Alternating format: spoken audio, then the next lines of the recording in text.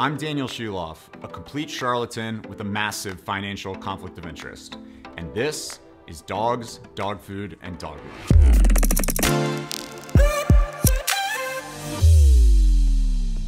On today's show, we're gonna try to answer the question Does my dog need carbohydrates for energy? This is an important question for a couple of reasons. First, because that language, carbohydrate for energy, is something you see all the time in connection with the marketing of pet food products. Often, when companies are providing little narrative overviews of the nutrients in their foods, whether in an advertisement or on a label, they use this language when trying to explain why they use so much corn or potato or whatever in their recipe. That's the go to explanation that companies tend to use carbs for energy.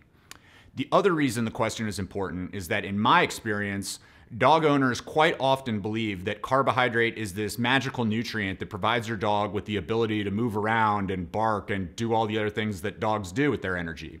That for dogs, carbs are basically the only true source of energy, which is problematic because the answer to the question, does my dog need carbohydrates for energy, is a resounding no. No, it does not. It is beyond any legitimate debate that dogs most definitely do not require carbohydrate for energy or to become more energetic or anything like that. There are a few different lines of evidence that demonstrate this, and I'll give you a quick overview of each one. The first, as usual, concerns wolves. Wild wolves and domestic dogs are the two most genetically similar species on the planet. They shared a single genetic lineage for more than 99.9% of their evolution as canine species. And as we discussed elsewhere in this series, wolves eat precisely zero carbohydrate. There is no debate. Wild gray wolves don't consume carbs at all, period. And yet, they're incredibly active and energetic animals.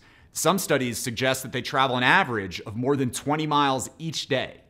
And they're not just strolling along or something like that either. In order to eat, they need to pursue big, intense prey like bison and elk and then overpower the animals and drag them to the ground. Literal fights to the death all the time with precisely zero carbs.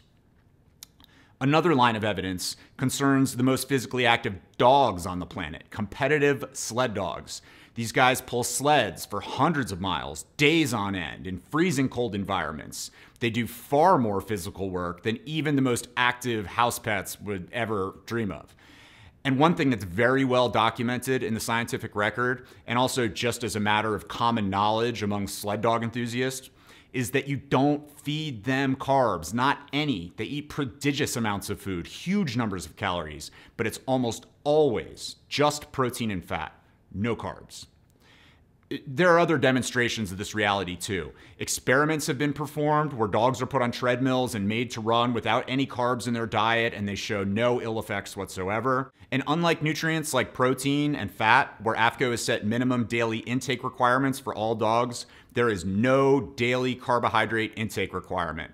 Carbs most definitely are not essential nutrients for a dog, not for energy and not for anything else either. So, what's going on here? Why do we still see this kind of language used so often by pet food companies?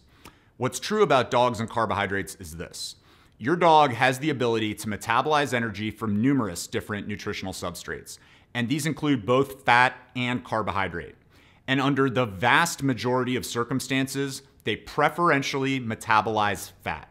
Fat is the preferred source of fuel in that way. But there's an exception. If and only if there's a lot of carbohydrate in the animal's diet, then the animal will tend to metabolize carbs more so than fat. Under most conditions, fat is the preferred fuel source. But if there's a lot of carbohydrate going into the bloodstream, then the animal will shift into a carbohydrate burning mode in order to help it deal with the otherwise toxic glucose that is flooding its system with every carbohydrate rich meal. It needs to do something to deal with all the glucose that's flooding the system so it shifts into a metabolic state whereby it relies more heavily on carbs.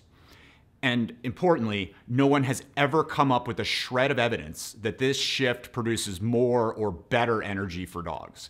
In fact, quite the opposite is true, which is why mushers tend to feed their dogs zero carbohydrate diets. So the next time you see a pet food company tell you that it uses carbs in its recipe in order to give your dog energy, I hope you see it for what it is. A sleight of hand that misrepresents the real evidentiary record and is designed to make you feel good about the cheap, fattening carbohydrate molecules they're using to fill up all their recipes.